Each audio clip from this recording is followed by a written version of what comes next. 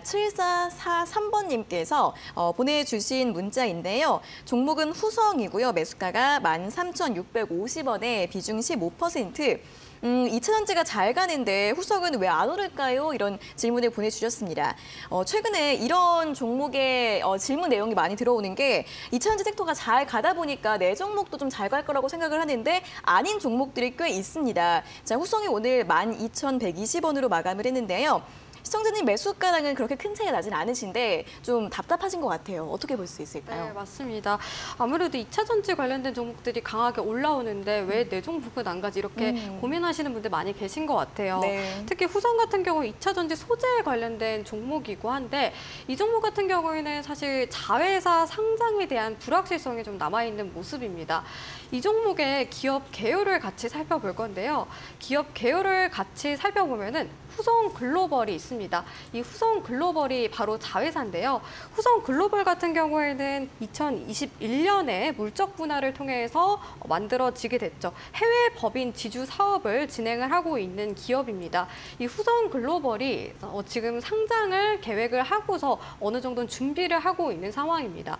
사실 이렇게 물적 분할 이후에 자회사가 상장을 하게 되면은 이 모회사에는 조금 불확실성에 따라서 변동성이 나와주는 경우가 많이 있고 어, 상장 전 에는 뭐 기대감이 반영이 될 가능성은 높지만 자회사 상장 이후에는 어, 재료 소멸이라던가 혹은 수급이 오히려 자회사 쪽으로 몰리게 되면서 모회사의 주가는 빠지는 경우가 많이 있는데요. 이런 불확실성에 따라서 아무래도 후성이 다소 좀 2차 전지 관련된 종목들에 비해서 이 소외가 돼 있다고 저는 판단이 되고요.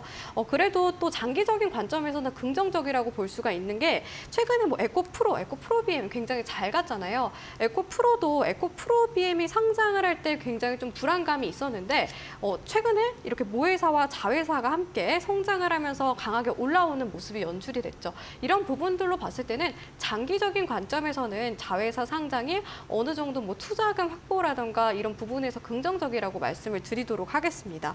그리고 제가 이분 같은 경우에는 뭐 추가 매수도 권하진 않고 수익을 좀 극대화할 수 있는 전략을 제시를 해드리고 싶은데 네.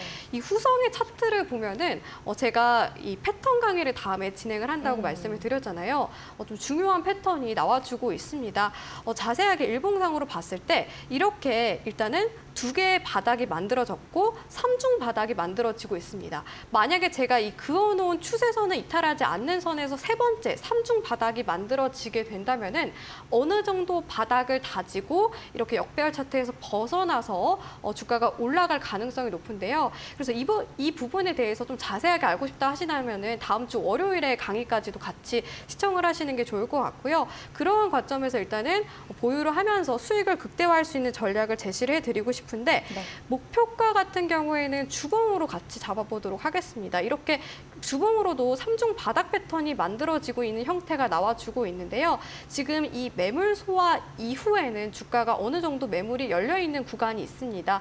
어, 대략적으로 봤을 때 저는 60 주선 부근까지는 충분히 이 무리 없이 올라갈 가능성이 높아 보입니다. 대략 한 16,000원 구간대인데 16,000원대를 어, 목표가로 잡고서 가시는 게 좋겠다고 말씀을 드리겠고요. 쌍바닥 패턴 나오고 바닥이 다져진다면은 충분히 상승 가능성이 있는 패턴이기 때문에 뭐 손절가는 따로 잡아드리지는 않고 목표가 정도만 제가 제시를 해드리도록 하겠습니다. 네, 목표가 16,000원 라인 잡아드렸으니까 또 보유하시면서 전략 세워보시면 좋겠습니다.